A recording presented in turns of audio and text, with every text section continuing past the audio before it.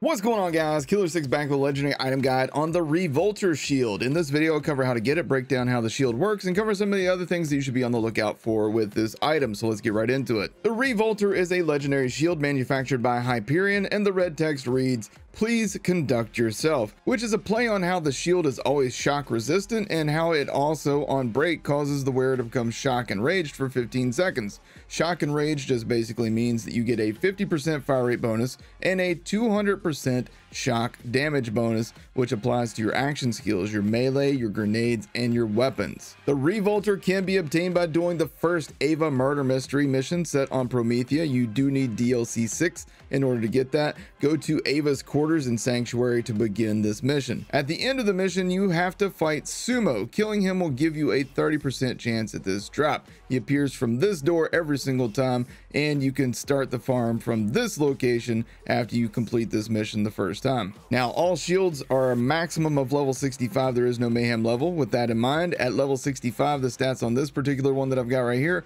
are 28,801 capacity, 7.5 second recharge delay, which you'll notice is very slow and it's kind of like the Bee shield in that regard as well, but there's a good reason for that. And then the recharge rate is 7,243. And I got capacity, recharge, and health rolls on this particular version. Note that you can absolutely get double and triple rolls on this shield, and some of the best ones to look out for are triple delay, triple absorb, triple health, and triple adaptive. Absorb is probably the most sought after one since rolling a triple roll on that will give you the same bullet absorption rate as the Transformer shield, making you that much harder to kill. That said, a triple delay can be very effective since that will restore your shields quicker, allowing you to trigger the shield's special effects more often, but ultimately use the rolls that work best within your build and your playstyle. Now the trick to using this shield to maximum efficiency is to get the action skill start anointment on it. That's the one you want on all Vault Hunters. That way, whenever you pop your action skill, you automatically trigger the shock and enraged effects giving you more damage for 15 seconds while using your action skill, which is already your character's strongest moment. So clearly, Moze becomes the odd one out with this shield as she lacks a spammable action skill like the others. But even so, I'd still be inclined to use the action skill start version on her as well, since you could summon the cub if you have the fourth skill tree and then use your gun damage and do even more ridiculous stuff. Plus your cub will get the effects of this as well. Or, and hear me out on this, stay in Iron Bear. I know nobody ever stays in Iron Bear because the special effects of the shield like I said before, they apply to your action skill as well, meaning that you can wreck even harder with Iron Bear than you already did before. And, and if you've never used Iron Bear, just know Iron Bear wrecks. For Zane, this shield is absolutely ridiculous when paired with the purple tree, as you can essentially spam the Mantis Cannon and trigger the action skill start anointment of the shield, giving you non-stop revolter damage. Basically, it's the Bee shield from Borderlands 2, but it's always up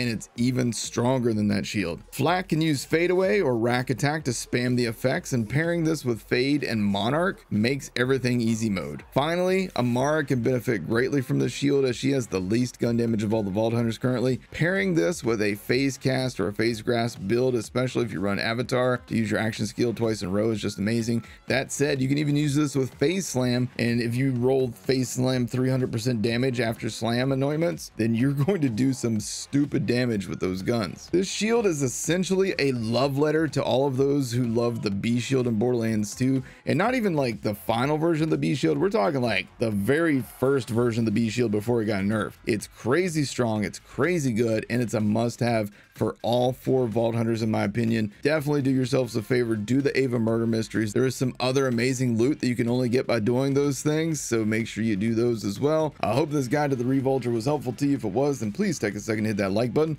hit subscribe, and tap the bell icon if you'd like to be notified when I post a new video. You can click on one of the cards at the end of this video to see more legendary item guides as well. Thank you guys for watching. Take care.